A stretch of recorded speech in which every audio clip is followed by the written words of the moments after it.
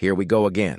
Facundo Pellistri will soon know exactly where he stands at Manchester United. Man United have few options for the right flank against Brighton, but Facundo Pellistri still isn't guaranteed a start. United are back in action on Saturday and for once the struggles on the field will come as a nice distraction to the chaos off it. United have had to release more club statements over the international break than they've had wins so far this season, and the positive atmosphere Erik Ten Hag built up over his first year in charge is coming under peril. The last thing they need is a matchup against Brighton, a team they have lost their last three Premier League meetings to by a score of 7-1. Playing the high-flying Seagulls is hard enough at the best of times, but when United are low on confidence after an underwhelming start to the season and appear to be engulfed in disarray, it becomes even harder, especially when there are hardly any right-wingers to call upon. Antony is unavailable as he is on a leave of absence after facing allegations of abuse from three women in Brazil. Jadon Sancho has been frozen out of the first team after publicly calling out Ten Hag. The manager said after the defeat to Arsenal that Sancho was left at home due to his poor performances in training, which the winger hit back against and denied in a now-deleted tweet. Talks between the pair this week did not resolve the issue, so Sancho is unavailable indefinitely. That leaves Facundo Pellistri as the only senior right-wing option available, as Amad Diallo remains sidelined. But labeling the Uruguayan as senior is a stretch given he is yet to start a Premier League game and has made just 12 appearances for United in three years. Despite showing promise in those rare cameos, Ten Hag has been reluctant to give Pellistri any significant or meaningful opportunities to prove himself. If that doesn't change on Saturday, then it never will. As well as Antony, Sancho, and Amad being out, Mason Mount is also unavailable due to injury. Though a central player, he was a viable option for the right flank given Ten Hag wants the former Chelsea man to press high up the pitch. United have struggled with Mount in a double pivot as a result of his pressing, with Casemiro repeatedly being left to fend for himself. With Christian Eriksen alongside the Brazilian instead of Mount, United had their most secure and compact performance of the season against Arsenal, again and again. Erik Ten Hag is saving Manchester United from themselves. Man United must remember the predicament they found themselves in prior to Erik Ten Hag's arrival from Ajax. Erik Ten Hag's opening year and a half at Manchester United could have gone a lot more smoothly than it has. For United supporters, it must be difficult not to get yourself down when it appears each month throws up another controversy between a player and manager. The first and most high-profile instance of this happening came in November 2022 when Cristiano Ronaldo took it upon himself to air his grievances to Piers Morgan in front of TV cameras. It was a major first test for Ten Hag's strength in his position, and he passed with flying colors, cutting ties with Ronaldo soon after the full interview went live. In the months which have followed, we have seen the Dutchman continue to lay down the law. These range from the relatively minor disciplinary issue for Marcus Rashford after he was late for a team meeting to what we are currently seeing unfold with Jadon Sancho. Now, we will all have our own opinions on whether we would have gone out in a press conference and openly called out the winger's performances in training. It is perfectly valid to think this was a harsh overreaction from Ten Hag, who should have perhaps kept the matter behind closed doors. But it is also right to remember the predicament the Reds found themselves in prior to the boss's arrival. Under Ralf Rangnick, all sense of authority had gone firmly out of the window as players clearly turned on the interim manager as soon as it became obvious he would not be appointed full-time. The mocking of United staff members to the press was entirely out of order and was a sad indictment of where the club was at. No surprise, then, that Ten Hag was told by United to bring strict standards back to the dressing room. Strict line is the point. The club asked me because there was a no-good culture before last season to set some standards, and that's what I did. It's my job to control the standards, he explained prior to the weekend's clash with Brighton. Of course, it's never someone when they make one mistake. It's a whole process before you come to a certain outcome about strict lines. If staff, players, or whatever, who, if there's a structure to cross lines, you have to be strong. Absolutely. Sancho's situation with Ten Hag was building long before the post-Arsenal drama, again and again.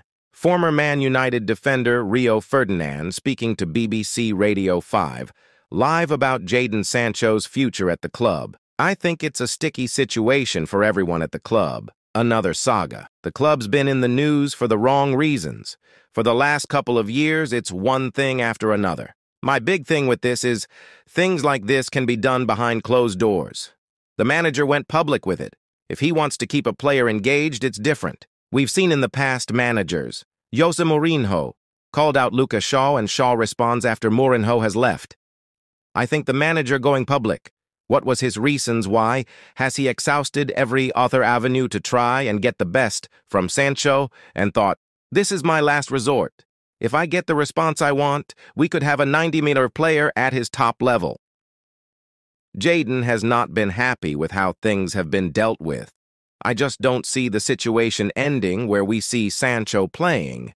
If he doesn't apologize, that is what we are led to believe the manager wants him to apologize. If Jadon doesn't apologize, then he doesn't play. Simple as that. We don't know all the details. There may be things we are not privy to that mean the manager wants an apology.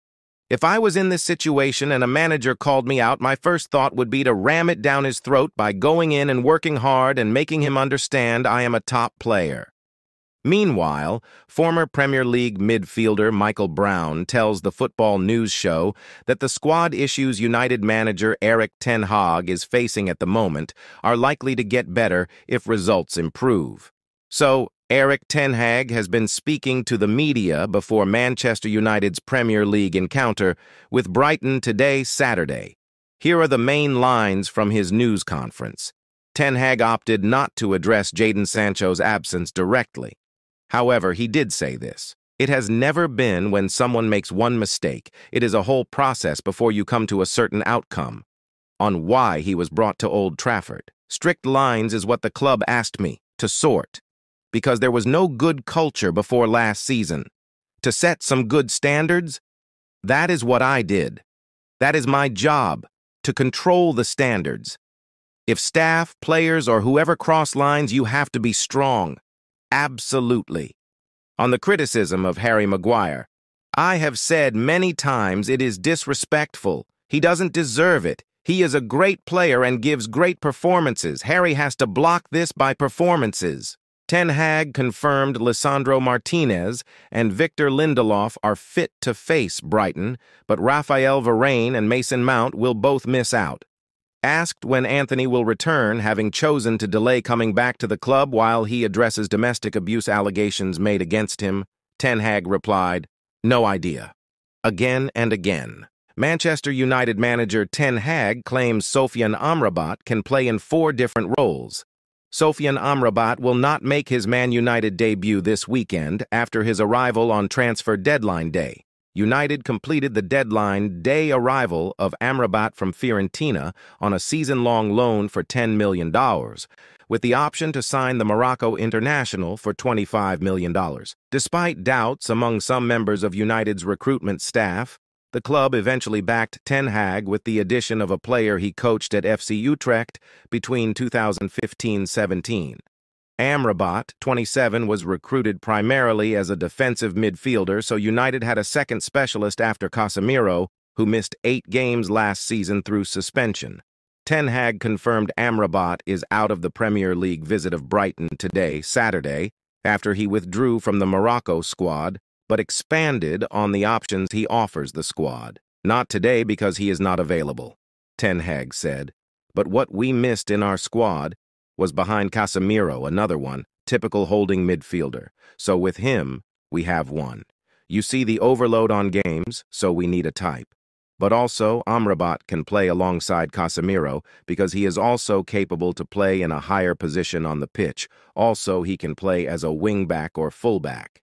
Ten Hag also downplayed United's right-hand side issues after the club announced Antony would take an indefinite leave of absence amid investigations in Brazil and by Greater Manchester Police into allegations of assault. Jadon Sancho has been banished from first-team training. Amad is recovering from a knee injury. Mason Greenwood is on loan at Getafe and will not play for United again, while Facundo Pellistri has only started once for the club in three years. Captain Bruno Fernandes shifted to the right a number of times last season and could be relocated there for the fixture with Brighton. I think we constructed the squad smart. We have many options there, so I don't worry about that. Ten Hag shrugged. We have options to play there, elsewhere. Paul Merson says Manchester United need to stop hiding behind the Glazers situation and has called on the players to stand up and be counted as they prepare to host Brighton in a crucial Premier League clash at Old Trafford today, Saturday. Manchester United are down in 11th, six points behind Premier League leader and neighbours Manchester City after an up-and-down start to the season.